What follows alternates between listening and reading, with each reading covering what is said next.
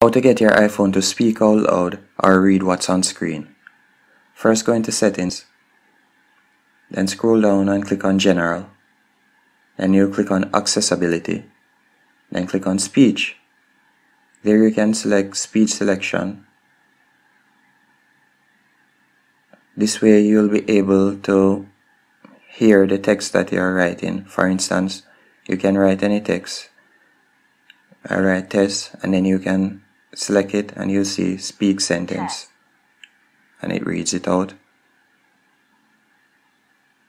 But to get it to read what's on screen, you'll select speak screen. And as you see, you'll have to use your two fingers and just rub it on the screen, down it's on the screen for it to read it. And you can also select the speaking rate to make it sp speak faster and also the voices.